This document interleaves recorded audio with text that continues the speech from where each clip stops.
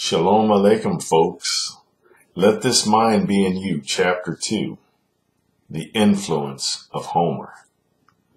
I don't recall whether or not my public high school in California offered any historical courses in cultures other than Spanish or American history. At the college level, however, depending on the institution, there are typically several cultural history courses, primarily offered as electives. Grecian or Greek history is one of them. Before we continue, let's go to Yah in prayer. Heavenly Father God, God of Abraham, Isaac, and Jacob, we thank you and we praise you, Father, for the blessing of this new morning. We thank you uh, for restoring to us the breath of life. We thank you for this opportunity to share together a portion of your word, and we pray that you would allow your Ruach HaKodesh to govern, guide, and direct all that we do and say in this teaching. Uh, Father, we pray that you would uh, humble us and allow us to uh, have open hearts and open minds that we might receive all that you have in store for us. And we give you all praise, honor, and glory in Yeshua's name. Amen.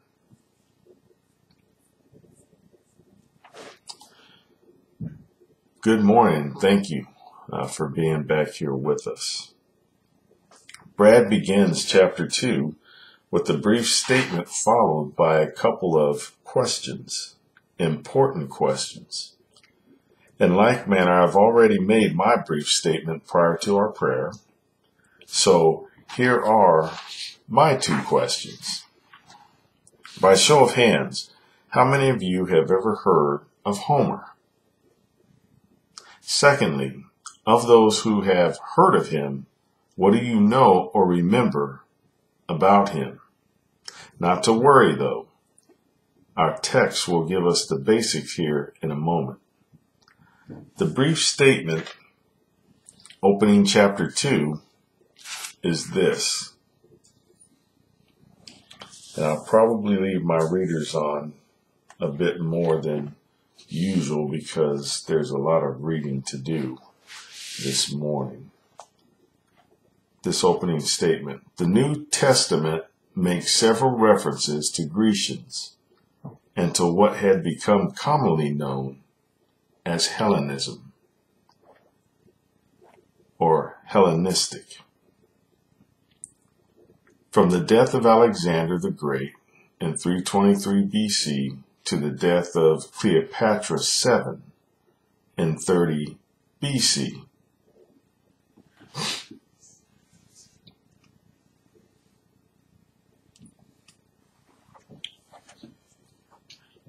The two questions following that opening statement are what is Hellenism and what influence did Hellenism have on the culture of Yeshua's time.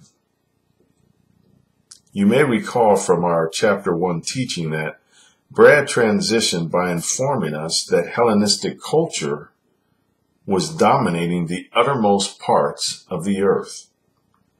At the time, the Brit Chadashah, or the New Testament, was penned. This chapter gives us some details. Now, as I mentioned before, I may have my readers on um, extensively because there's so much for us to read in this particular video. And I have to admit that it was quite the challenge to pare this down to the highlights that I wanted to offer because the whole idea is to not read the whole book to you. that would defeat the purpose of doing teachings on highlights. And the other part of the idea is to encourage each of you to go out and purchase your own copy. And uh, of course, we'll talk about that again later at the end. But I wanted to do something a little different with this video. Just thought of it uh, this morning. How about I offer a copy, a free copy of this text, of this book, Let This Mind be in you to whoever The first person is that writes a comment, and let me flip back here to the final page of the script. The first person who mentions something that I'm going to talk about at the end of the script, at the end of the teaching, and you can tell me what comes next after you hear me read this. This would be a good point to pause our highlights on chapter 2. As difficult as it is for me to apply the what. Go ahead and respond with whatever the what is with a hashtag or however you want to put it. End of chapter 2 offer. And whoever does that will respond and make arrangements with that individual to get them their free copy of this book. So now, if I can remember where I was at, we'll get back to it. But the challenge was there's so much uh, highlighting that I did in the second chapter that picking and choosing the most appropriate to stick in here and have it flow uh, so that you would still be encouraged to go ahead and uh, uh, read this for yourself, but at the same time not lose the flavor of what this chapter is about, the influence of Homer. So let's move forward. Brad writes that the term Hellenistic was coined in the 19th century. It was used to designate the period of Greek and Near Eastern history from the death of Alexander the Great in 323 BC, which uh, was part of our reading, or before the Common Era, to the death of Cleopatra VII, who was the last Macedonian ruler of Egypt in 30 BC. In academia, we learn about something referred to as an age an era or a period. All three are a different way of saying basically the same thing. A way of referencing a block of time and whatever is most closely associated with that block of time. You may have heard of the Iron Age or Golden Era of Hollywood. The Hellenistic period is similar to those times that are thought to have changed the way we live, although most remain in some small degree or another. Hellenism is still with us. Think of it as a chronic condition, if you will. And I picked that wording on purpose. Many, if not all, are familiar with the concept or the idea of a chronic condition. People have chronic heart conditions. There are many people like myself who have uh, chronic arthritic conditions. People have any number of other chronic diseases or ailments or issues in their life. There are literally hundreds of these various designations, none of which have a, well, typically most don't have a positive connotation. More often than not, we wish, we hope, we pray that we could be rid of those chronic conditions.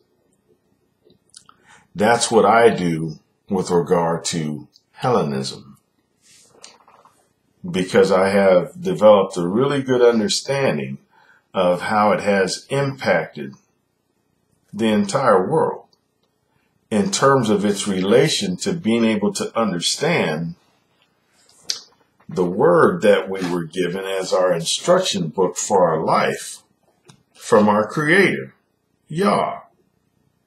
And in order to best understand this, we need to be able to understand it from its original language, the language with which it was written in the culture, in the culture where it was written.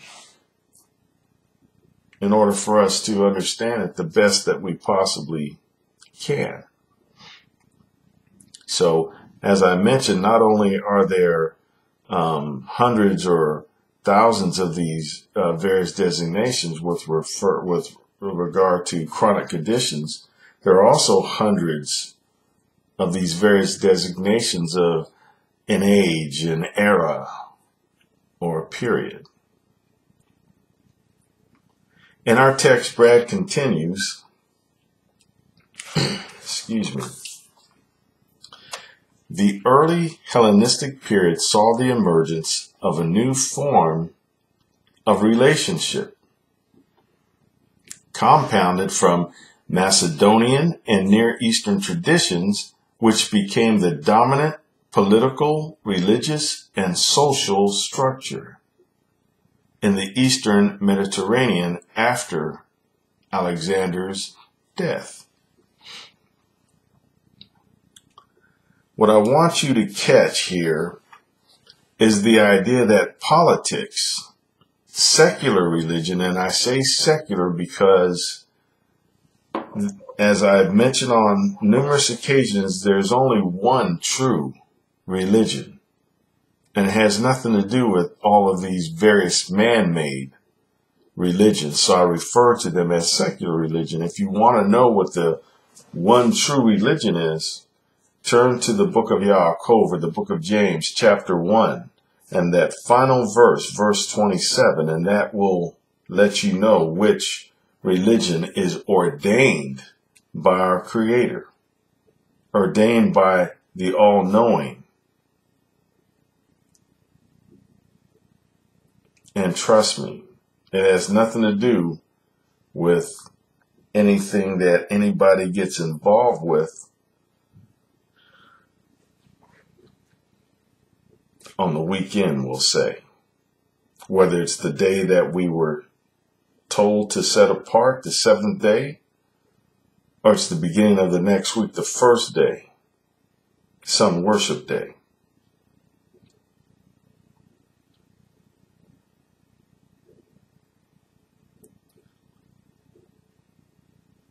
The idea that politics, secular religion, and social functions are all governed by relationship.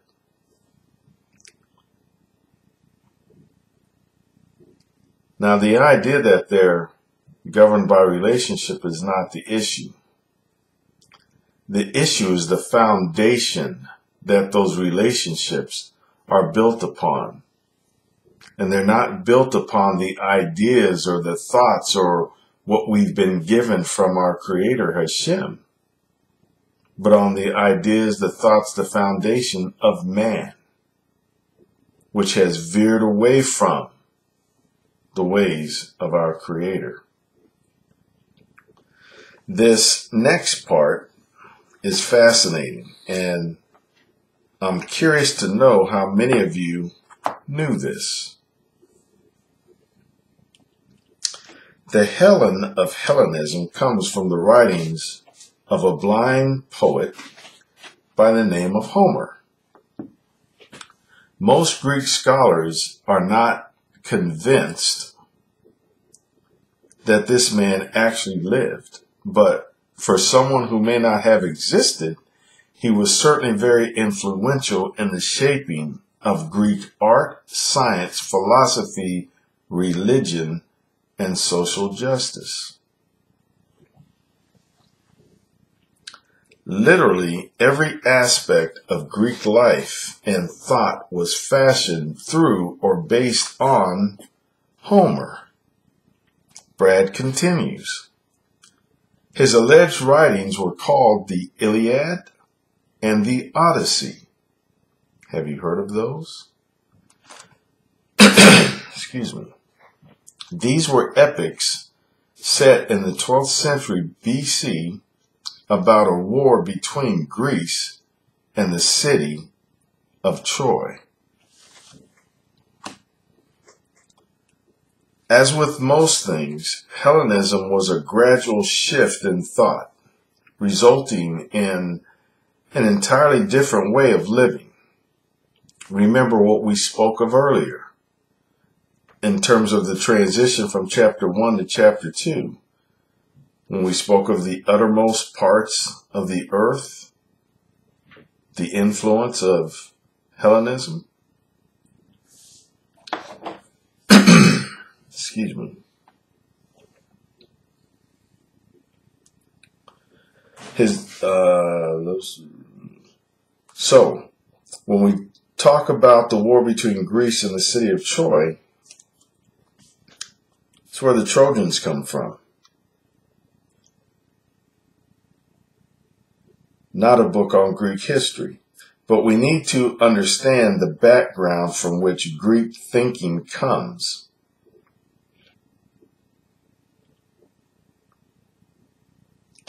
Let's see.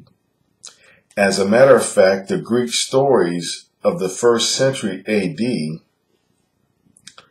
had the Hebrew conquest of Canaan or Canaan already morphing into the story of the Iliad. The story of Canaan or Canaan. You know where that comes from.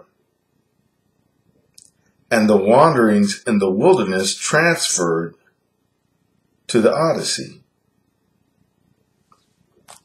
You also know where that comes from. Excuse me.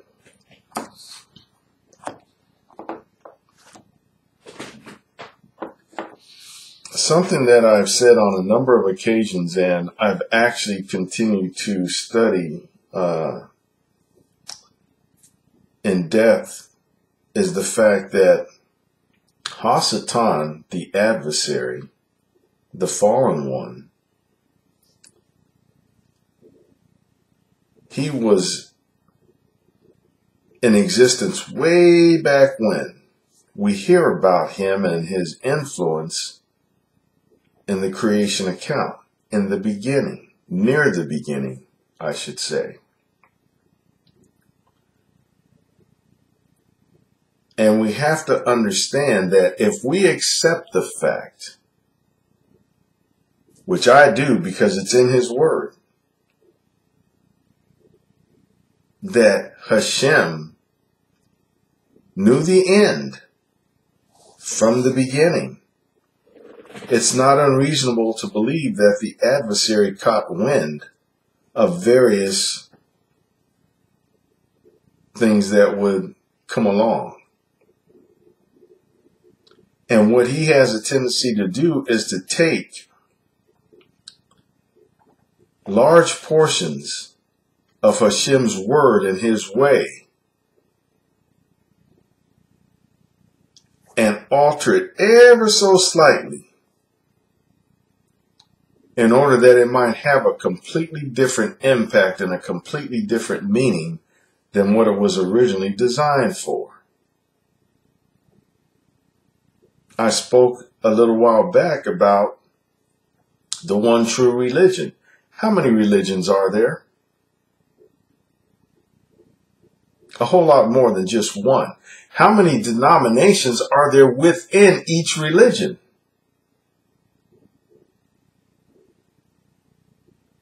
Now, the adversary is real good at helping people come up with excuses for things. And with regard to religion, well, you know, we have different languages, we have different cultures, blah, blah, blah. There's only one God, one true and living God. And he ordained one true religion. All that other stuff doesn't matter. He created us he created all that you see. You mean to tell me that he was not capable of helping each culture, each various language understand specifically his one true religion? Yes, he was, because it has nothing to do with what we typically define religion as. Does it matter which language you speak or which culture you're from to understand that you are to look after the widows? Take care of the homeless or the fatherless? I meant the orphans or the fatherless. Does it matter which language you speak or which culture you're from to understand the idea of remaining unstained or unspotted from the world? No, it doesn't. Any excuse that people come up with to steer away from the ways of Hashem, they're easily torn down because they're superficial. And they have nothing to do with reality. I have this saying that I, I tend to use. People will always be able to come up with an excuse for not doing something that they really don't want to do in the first place. Or they'll come up with an excuse for doing something that they already want to do anyway.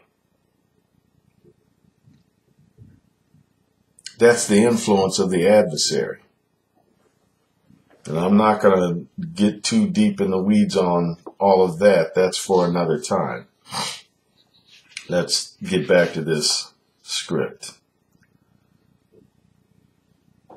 I've done an extraordinary amount of study and research on what comes next. So when I came across this, I got the distinct impression that Hashem led me to this in order to confirm the validity of my study or my research. Let's go to it and see what it says. Most of the anti-biblical or pagan cultures we are familiar with, Greek, Babylonian, Persian, etc., have a woman or goddess type mother that represents that culture. That's interesting that this would come up in this video at this particular time of the year. I didn't design it. But anyways, Isis, Astarte, Ishtar, and Gaia are some examples. The background of Hellenism is from Egypt, no less. Greek intellectuals of the historical period claim that Greeks owed a great deal to the older civilization of Egypt. Greek mythology, the stories that Greeks told among themselves about their deepest origins and their relations to the gods, was infused with stories and motifs of Near Eastern origin. Now, that last part that I read, that wasn't just one long flowing. There was a little highlight here, a little portion there, and a little portion there, and you know, there was other stuff in between, but I wanted to try and have it flow so you can get an idea of what that whole area was about. Excuse me. Brad continues on with exploring this area and takes his readers deeper and deeper into an understanding of these origins and connections. It's difficult for me to forge ahead, but for time's sake, I must. As we move forward, please pay close attention here. I believe this is the last part of our reading. The term Hellenism conveys the idea that a mixed cosmopolitan form of social and cultural life combining Hellen, Hellenic, i.e. Greek, traditions with indigenous traditions emerged in the eastern Mediterranean region during the aftermath of Alexander's conquest. These represented a mixture of Hebrew ethnicity and Greek worldviews.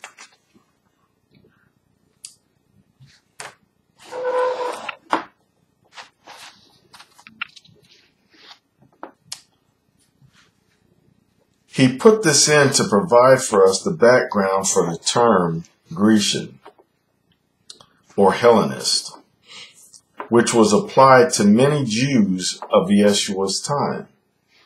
We go back again to that uttermost parts of the earth.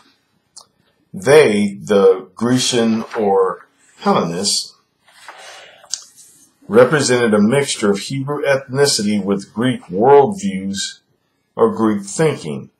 So, identical to what you see today, how you have English speaking folks that don't necessarily have a quote unquote Western way of looking at things. The bottom line is, is there's a whole mixed match. I can't think of the term that's used, but this big stew of the way people think about all kinds of things. And I think they even have a term for it called free thinking. Whatever that is. I know what it is, but being facetious. Hashem is not about chaos. He's not about disorganization. Everything that he has done, everything that he continues to do, has a specific purpose in mind. There's a reason for it. The way he set up the foundations of this earth on which we live. Winter, spring, summer, fall midnight, 3, 6, 9, noon, 3, 6, 9, midnight, so forth and so on. First day, second day, third day through the seventh. First day, second day, third day through the seventh. Everything is organized. There's a reason for everything. And his ways and his instructions, his guidance, his teaching, his laws for us all follow that same path. So this whole concept of free thinking is, is another tool of the adversary to drive you away from having the mind of Yeshua. This would be a good point to pause our highlights on chapter 2 as difficult as it is for me to apply the parking brake, I'll do it anyway. So give yourself a break for breakfast, lunch, supper, or snack, depending on your personal viewing routine, and we'll pick up from this point in our second part of chapter 2. So obviously I'll be releasing this when the second part is released. They'll be released together. Again, for those of you who would like to go ahead and get a copy of Let This Mind Be in You, in order to read it in its entirety, with the exception of the person who's going to get a free copy, or have it with you as we go through the highlights, go to Brad and Carol's site at www.wildbranch.org. That's www.wildbranch.org. Shalom and be blessed this day.